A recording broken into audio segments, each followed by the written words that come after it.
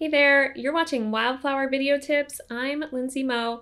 Today I'm going to show you how to adjust a single color in Adobe Premiere Pro.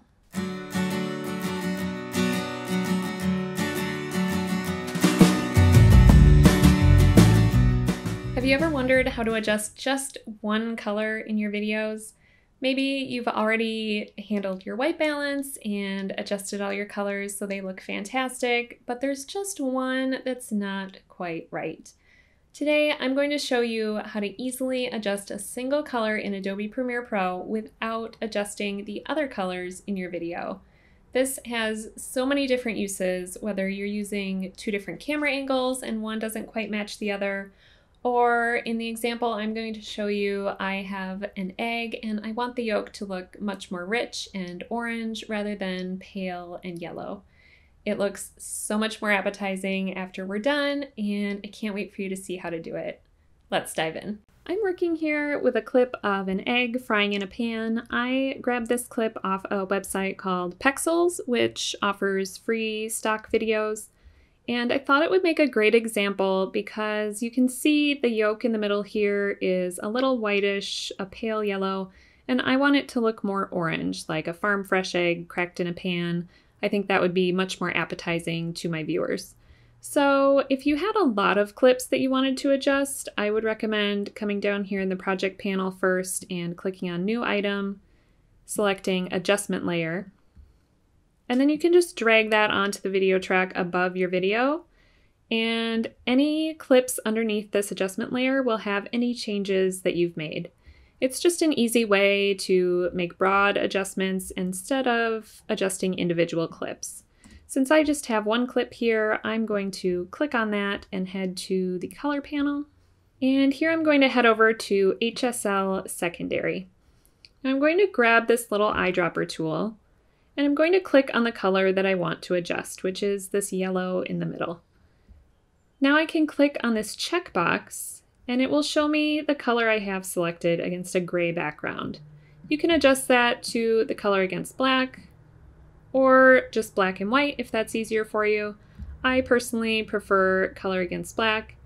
And now you can see it didn't grab all of the yolk. So we can adjust these sliders and you can see it starts bringing in more of the color. I can also use this eyedropper plus tool to grab more color and the eyedropper minus tool if there's something that I don't want to include. Now we can choose to add some denoise and some blur if that would be helpful in your situation. I don't like to use too much of those. And we can head down here to the correction where we can choose between a single color wheel, or if you'd prefer to work with shadows, midtones, and highlights, you can do that. For this one, I'm going to stick with the single color wheel, and I want this to be more orange, so I'm just going to grab this crosshair and drag it up and towards the orange.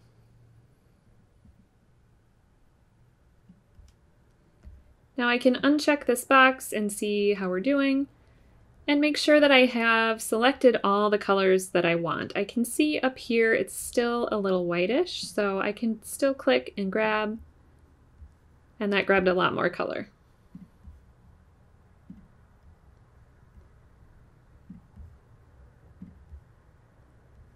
If you'd like to check between the before and after, you can come up here next to HSL secondary and uncheck the box. And that's looking much better. You could also adjust using the temperature and tint slider if you prefer. But I'm trying not to get too much of the edge of the egg and the seasoning on here to turn orange as well.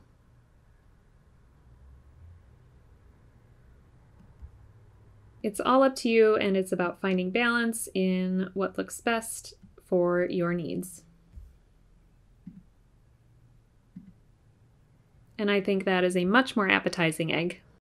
That's it. I think you're going to find so many uses for this. If you have any questions, definitely let me know in the comments down below or head over to our Facebook group, which I have linked in the description box. If you enjoyed this video, I would love for you to give it a thumbs up hit subscribe and tap that little bell next to it so it turns on your notifications and you will never miss another video.